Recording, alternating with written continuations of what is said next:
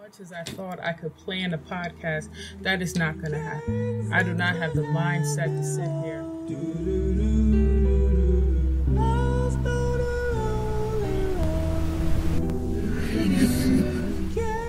Chop up block block how I'm going to tell you about weight loss and weight gain.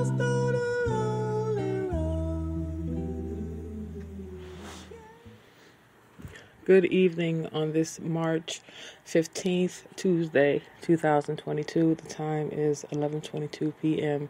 and welcome to Early in the AM with Isha. Somber day. I did a lot of running around today and yesterday because this Friday, March 18th, is my Aunt Michelle's funeral. My mom's uh, biological sister, full biological sister, her only full biological sister, and this was very unexpected. It was very unexpected. We didn't see it coming. It wasn't something long and drawn out. We talked to her on a Friday, and by uh, we get a phone call on a Sunday that she was in the hospital, brain dead. I'm not going into details about what happened because those are personal and that's a family matter. But let's just say that in like a by Wednesday, they you know she was they pulled the plug and that was it. And I'm kind of in this place where I'm looking for signs and things. I'm looking at old pictures of her, recent pictures of her, seeing if I see something out of the ordinary that's not her. It's still her. so. And yesterday morning, I actually I woke up and it hit me a little bit. And I hate feeling like this. I'm so my nerves are so worked up and I'm so operating off stress all the time. And working on stress and on pain and on opposition. I'm always on that force. It's not even personal, it's just a force I'm always on from, you know, having to get over things that I want, having to do things in life. And then because what's most important, like maybe having a job that I just don't want. And it's just against my nature and everything that's good about me. And it's just against that. But I have to work anyway to pay my bills or be homeless. All those things that challenge my spirit to the core, I always have to get over it in opposition. Always got to get over it. There's always something to challenge something I want having to get over it, having to starve myself, not eating correctly, not exercising correctly. Now I'm at this point in my body is just on this tipsy. My joints always ache, my my muscles are always on fire, and it's like I'm always pushing myself past it, pushing over it, pushing over it. Mm, don't don't even say I'm not gonna say anything about the mental. I'm not even gonna go there. What's going on upstairs, but it's hard. You you challenge yourself to be celibate. You say, you know, I'm tired of being a whore. I'm tired of sleeping with random guys that I meet online, guys at a club, just on the street when you're on a corner store, anything. You get so tired of the emptiness. And uh, since earlier this morning, I'm sitting here like I'm having another one of those episodes where it's like I'm like a raging ape in a cage on the inside sexually, but I'm always on force to get past that. You know, it wakes up in me and it's like, it's beating me down, it's beating me around, it's always on peak, and then I'm always, every second, having to acknowledge where it is and then get over it. So I'm in control of it, so I'm not out of my mind. And then there's some some days where the thing sleeps and I'm okay. Then there's other days where if it smells a guy, if if a guy's voice is on the phone, it's like, ooh, ooh, you know, like it's about to get some. I'm just like, oh, Jesus Christ. Anybody. Anything. And it's it's terrible. Any guy. Literally it happened about a homeless guy. I thought I was gonna lose my mind. I was like, no, we are not having this over about a homeless guy. We are not having these images in our head about homeless men. We are not going there. I'm like tapping myself on the side of the head. I'm like, okay. I get it. So I know I have this ape. I know I have this gorilla. But I have a, a me myself. I just I'm just two steps ahead of it every day. And that's my fight. Two steps ahead of it. Two steps. because it pushes me all the way up to the to that point and i'm never ready for it I, i'm never ready for it but i'm so ready to not fall and to not fail that i just push three if it can push two i can push three if it can push three i can push five and that's what we, we just get to the fingertips it comes with four fingers i just grab the entire fist i'm like no that's not going to happen today and that's just what i've been going through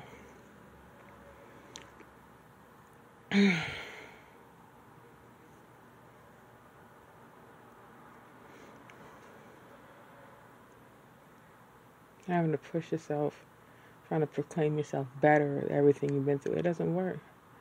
At the end of the day, it's like like today I went to the mall today, and, and believe me, I haven't been to the mall in years.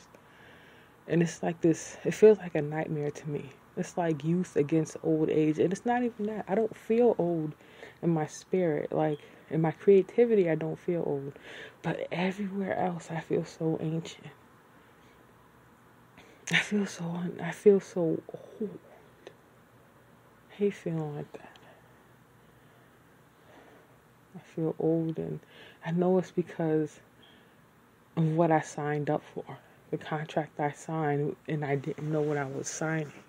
It's always that. It's always down to that technical work, the bottom line. What did you sign? What did it say? I can't tell you I just wanted the credit card or I can't tell you I needed a job or I needed that car or I had to go to the store. I had to, and then all these, you know, responsibilities come back at you. Well, you owe us this and you owe this. You said you would do this. Why aren't you doing it? And applications officially today. Official was it today? No, four four days ago. It's been two years since I left ECS, and I've been uh, unemployed for two years. But I've only been on unemployment for about, let's see, from April to, from April to, from April of 2020 till October of 2021, I was on uh, first regular unemployment. And then when that ran out, I was on PUA. And then that ran out on September 4th. So from uh, April 4th till September 4th of from April 4th, 2020 till September 20th, 2021, I was on unemployment and then all of that ran out. And I saved as much as I could and I paid everything in installments, but you know, I'm on this thing where I didn't the last chunk of money I got, let's see, a thousand I had thirty seven hundred plus seven hundred from my mom. We took forty three hundred dollars and we chopped down on my credit card bill. So now you know, I had one of my credit cards was like maxed at like thirty thirty four hundred dollars, and we hit that one with seventeen fifty. So that one got chopped in half. So we mostly just came in and just whatever our, the credit card was, we tried to put at least pay off at least half the balance. So we went in hard on the credit cards, and I'm proud about that because that's my main issue. Is I have credit card debt and student loans, and that's my issues. That's what I work with. But anyway. So, you know, I'm in the mall and I'm pushing myself. And I get to this place where my my my muscles is on burn, my my joints are on bone burn, they ache, and then I'm like, okay, take a rest. And then I'm like, I gotta take like 60 more steps. How can I stop? And then my eyes, once my eyes see where I'm going, my body will force itself to meet whatever it is. And I get so tired of that. It's like it's not even. It's like the eyes bigger than the stomach thing. I was like, I'm. It's at a place where it's, it's beyond comprehension. The drive is beyond me, but I do it anyway. Dangerous. Dangerous feeling that way. But yeah, I'm coping with the fact that I'm never gonna see her again. And it's like we've had a like my whole entire life we've had, you know, there's been distances between us. Like I would go a month or two without seeing her, weeks without seeing her. One time I went like eight months without seeing her, and I got used to it being that way.